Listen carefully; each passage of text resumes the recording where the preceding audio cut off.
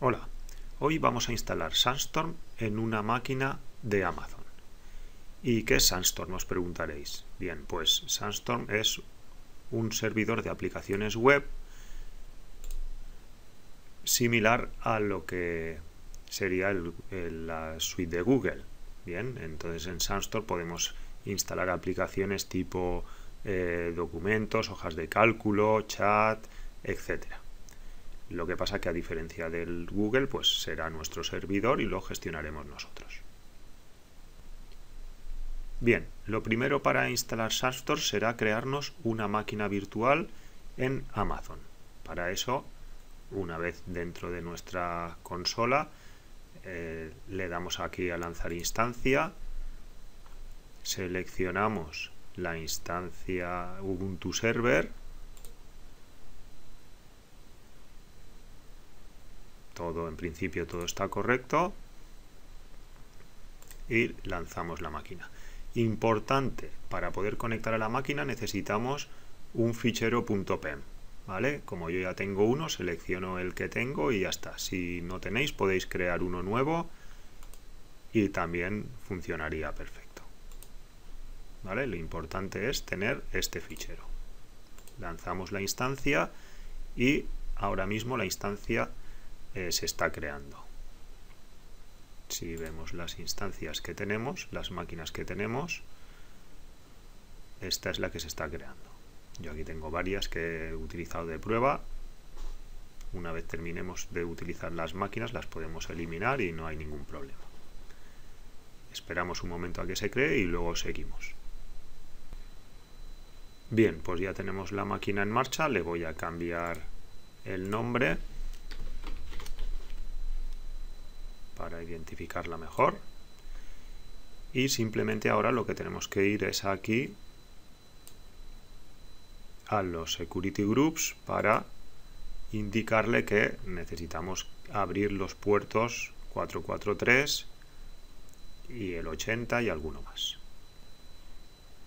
Aquí desde inbound le damos a edit y añadimos las reglas que necesitemos en principio vamos a necesitar el HTTP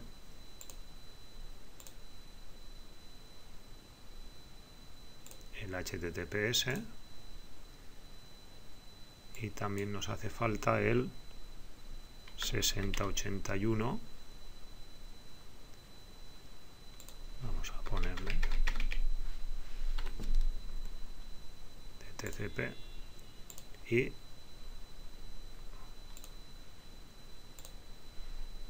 6081 de UDP. Vale, una vez que lo tenemos todo conforme aquí, le damos a, a guardar.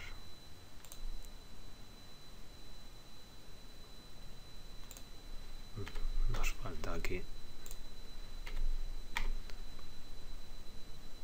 añadirle bien las direcciones IP y la máscara.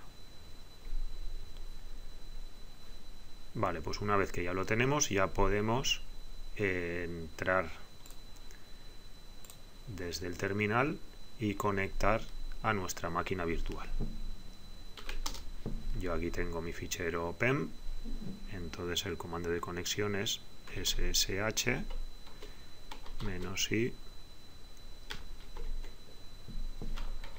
ubuntu arroba y la dirección IP de nuestra máquina virtual. Recordad que eh,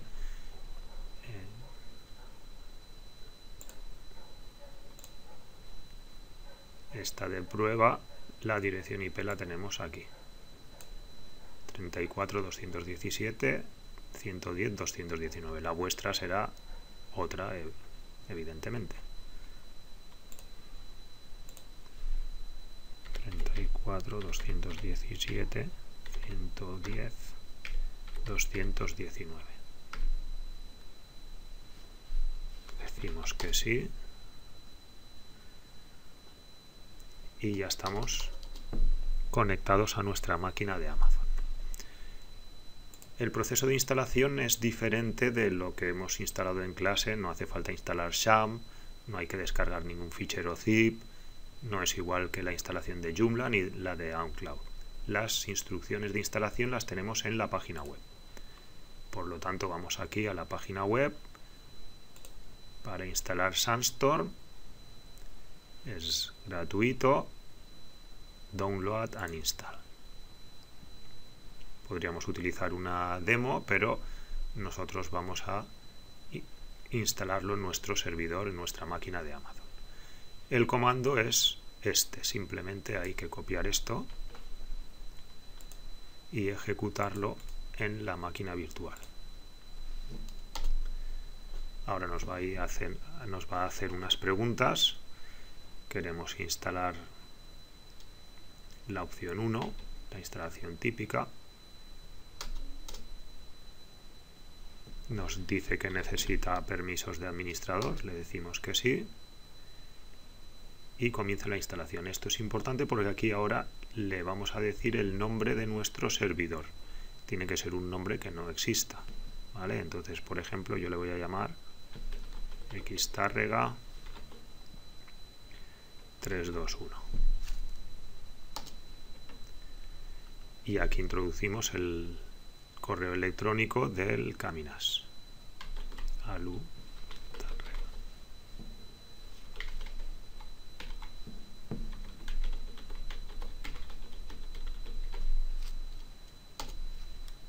se está registrando nuestro dominio se están generando los certificados.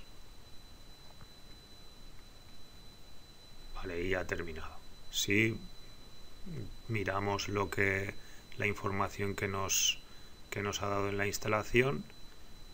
Aquí nos dice la ruta donde están nuestras credenciales. Y aquí nos dice nos indica dónde está la configuración de nuestro servidor de Sandstorm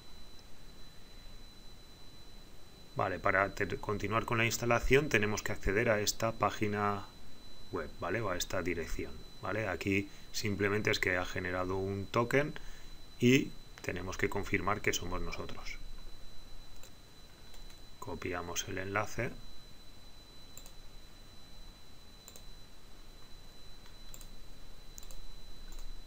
Y pegamos y continuamos con la instalación.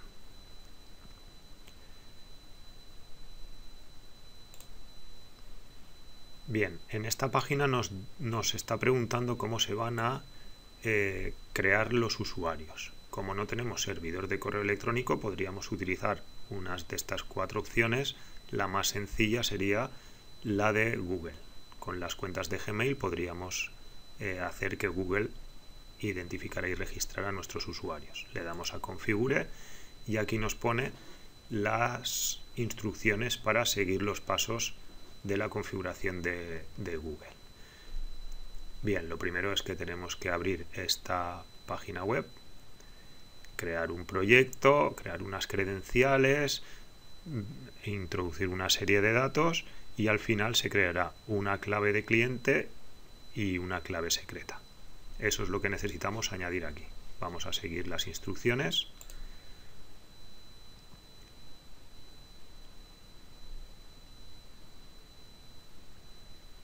Bien, vosotros si es la primera vez que entráis puede ser que no tengáis ningún proyecto y que tengáis que crear un proyecto nuevo. Pues no hay problema. Nuevo proyecto. Le ponemos el nombre queramos, la organización El Caminas y crear el proyecto. Hay que seleccionar las credenciales y la pantalla de consentimiento. Aquí tendríamos que indicar pues, el nombre de la aplicación, logotipo si queremos, el correo electrónico ya lo habíamos introducido antes y los dominios autorizados aquí sería el dominio que hemos introducido. En este caso sería esto de aquí.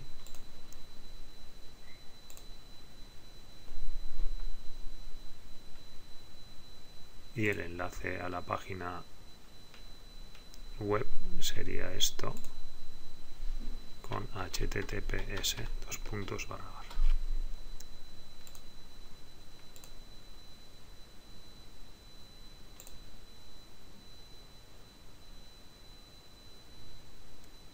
Bien, le damos a guardar.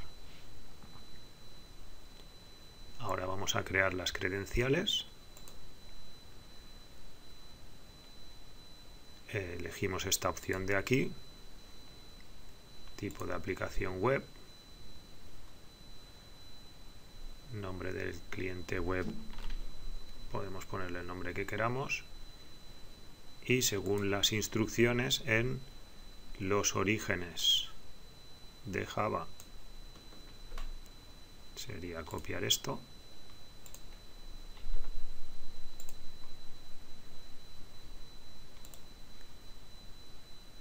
Y redirigir aquí.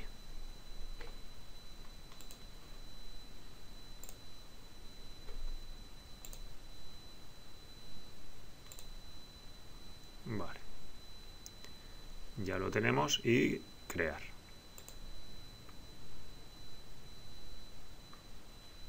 Bien, aquí ya tenemos la ID de cliente y la secreta.